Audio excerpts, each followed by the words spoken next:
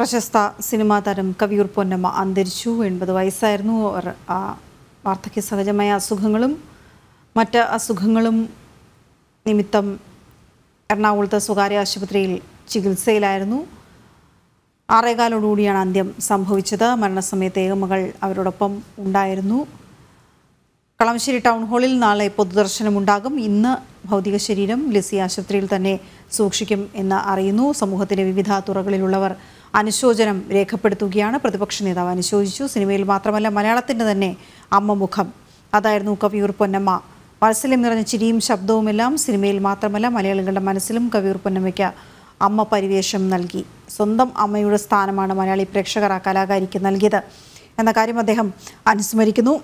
ശാലിനി തുടരുന്നുണ്ട് എന്ന് ഞാൻ മനസ്സിലാക്കുന്നു. ശാലിനി ഈ സിനിമകളിൽ നമ്മൾ കണ്ടിട്ടുള്ള കവിയൂർ പൊന്നമ്മ. മുണ്ടും നേരിയതും ഉടുത്ത പൊന്നമ്മ വളരെ അപൂർവമായി മാത്രമാണ് അവരെ സാരിയിൽ പോലും കണ്ടിട്ടിരിക്കുന്നത് അതേസമയം ഇൻഹരികർ നഗർന്ന ചിത്രത്തിൽ അവർ ഹൗസ് കോട്ട് അണിഞ്ഞു വന്നപ്പോൾ അതുപോലും വലിയ രീതിയിൽ അന്ന് മാധ്യമങ്ങളിൽ വാർത്തയായത് ഓർമ്മയുണ്ട്. എഴുതി വന്നത് ഓർമ്മയുണ്ട്. അത്തരത്തിൽ അമ്മ എന്ന് പറയുമ്പോൾ എപ്പോഴും നമ്മൾ കണ്ടിരിക്കുന്ന ഒരു വേഷം. ഒരു പക്ഷെ അവർ ശാസിക്കുമ്പോൾ പോലും അതിൽ വാത്സല്യം കലർന്നിരുന്നതായി നമുക്കറിയാം. വ്യത്യസ്തമായി. ഏറ്റവും ഒടുവിൽ രണ്ടായിരത്തി ഇരുപത്തി ഒന്നിൽ പുറത്തിറങ്ങിയ ആണും പെണ്ണും എന്ന ചിത്രത്തിലാവട്ടെ നെടുമുടി വേണുവിനോടൊപ്പം വളരെ വ്യത്യസ്തമായൊരു വേഷം. പക്ഷെ നമുക്കതിനകത്തറിയാം അവർ അന്ന് കിടന്നുകൊണ്ടാണ് അഭിനയിച്ചത്. അപ്പോൾ അത്തരത്തിൽ അവശതകളിലേക്ക് അവർ വന്നിരുന്നു. കിടന്നുകൊണ്ടാണ് എങ്കിൽ പോലും എത്ര മനോഹരമായാണ് ആ ഒരു വേഷം അവർ അതിൽ ചെയ്ത് തീർത്തത് എന്ന് നമുക്കറിയാം ഒരു പക്ഷേ ആ അത്തരത്തിൽ വ്യത്യസ്തമായ ചില വേഷങ്ങളിൽ കൂടി അവർ വന്നിരുന്നു എന്നുള്ളത് വാസ്തവമാണ്. അത് നേരത്തെ ബീന സൂചിപ്പിച്ചതുപോലെ ഈ മലയാള സിനിമയിൽ നിന്ന് അമ്മമാർ ഇല്ലാത്ത ഒരു മലയാള സിനിമയിലേക്ക് ഒരു കാലഘട്ടത്തിൽ സിനിമ മാറി വരുന്നു എന്ന് കണ്ടപ്പോൾ ആശങ്കപ്പെട്ടിരുന്നു അവർ. ആ സമയത്താണ് അവർക്ക് ഈ രണ്ടായിരത്തി ഇരുപത്തിയൊന്നിൽ പുറത്തിറങ്ങിയ ആണും പെണ്ണും എന്ന സിനിമയിലെ വേഷമൊക്കെ കിട്ടുന്നത്. ആ രീതിയിൽ കൂടി വ്യത്യസ്തയായിരുന്നു കവിയൂർ പൊന്നമ്മ ശാലിനി.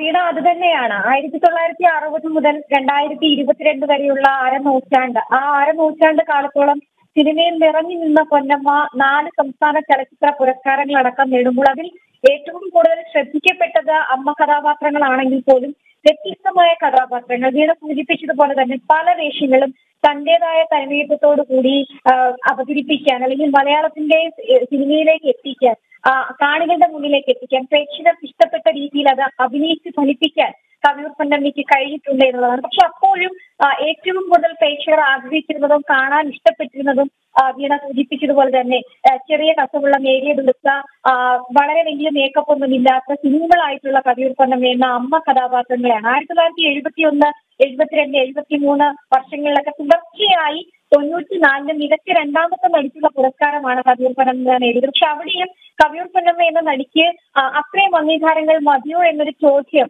അല്ലെങ്കിൽ മലയാള സിനിമ ഇനിയും കുറെ കൂടി അംഗീകാരങ്ങൾ ആ അമ്മയ്ക്ക് നൽകേണ്ടതായിരുന്നില്ലേ എന്നുള്ള ചോദ്യങ്ങൾ കൂടി ഈ ഒരു വിയോഗ സമയത്ത് പലരും ഉന്നയിക്കുന്നുണ്ട്. നാനൂറിലേറെ ചിത്രങ്ങൾ ഇവർ അഭിനയിക്കുന്നു. എഴുന്നൂറിലധികം മൊത്ത. സിനിമകൾ പരിശോധിക്കുകയാണെങ്കിൽ എഴുന്നൂറോളം സിനിമകൾ. ഒരുപക്ഷെ അതിൽ ഏറ്റവും ശ്രദ്ധിക്കപ്പെട്ടത് അമ്മവേഷങ്ങളാണ് അതിൽ ഏറ്റവും എടുത്തു പറയേണ്ടത് മോഹൻലാലിന്റെ അമ്മ എന്ന ആ ഒരു അമ്മ മകൻ കൂട്ടുകെട്ട്. സ്ക്രീനുകളിൽ ഒരുപക്ഷെ മലയാളികൾ ഏറ്റവും കൂടുതൽ ആഘോഷിച്ച തീർച്ചയായും ശാലിനി അതെല്ലാവരും പറഞ്ഞു കേട്ടിട്ടുണ്ട്. മുമ്പൊക്കെ മോഹൻലാലിന്റെ അമ്മ എന്നാൽ കവിയൂർ പൊന്നമ്മ എന്നാണ് എല്ലാവരും വിചാരിച്ചിരുന്നത്. പക്ഷേ ഏതായാലും ആ അമ്മ മുഖം മാഞ്ഞു പോയിരിക്കുന്നു പ്രേം നസീർ തുടങ്ങി ഇങ്ങോട്ട് ഏറ്റവും പുതിയ കലാകാരന്മാരുടെ വരെ കലാകാരികളുടെ വരെ അമ്മയായി അഭിനയിച്ച ശേഷം എല്ലാവർക്കും വാത്സല്യത്തിന്റെ